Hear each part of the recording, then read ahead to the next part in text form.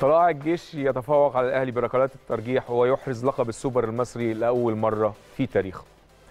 كابتن علاء آه، مباراة عصيبة.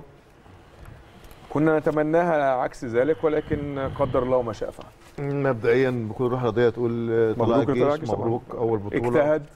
اجتهد ولعب على هدف معين ووصل وصل معاك لضربات ال- الترجيح اللي تتساوى الحظوظ فيها مظبوط. واللي مكتوب بقى وحظه أكتر أو الاوفر حظا آه، بيفوز بال- بالبطولة آه، هو كان بداية المباراه واصل عايز عايز حاجة معينة يا إيمن واتكلمنا فيها وقلنا إن هو عايز يوصل للمباراة لأقصى. حاجة لأقصى حاجة تبقى ضربات الجزاء ويتلعبوا عشان كده هم لما كانوا يلعبوا ضربات الجزاء آه، كان في لعيبة طلائع الجيش كان فيه هدوء الهدوء مش ثقه إن هم لا الهدوء إن هو وصل للحاجة اللي عايزها. فلو حصل وما قدرش يكسب النادي الأهلي يبقى أنا عملت أقصى حاجة. عكس لعيبة النادي الأهلي طبعا آه، أول حاجة بس بقول لجماهير الأهلي ما تزعلش وهارد لك آه، البطولة النهارده. طبعا كنا نفسنا الأهلي يكسب نضيف بطولة تاني. وجماهير الأهلي أكيد طبعا أكيد طبعا آه، زعلانة جدا وحزينة جدا. لكن هي دي كرة القدم. آه، الهدف كان موجود طلائع الجيش.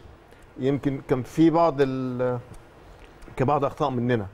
انت وصلت المباراة لضربات الجزاء.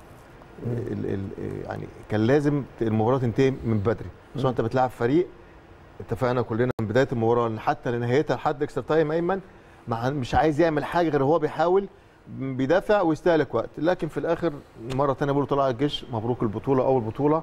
اللي من حقهم يفرحوا النهارده أكيد. صحيح.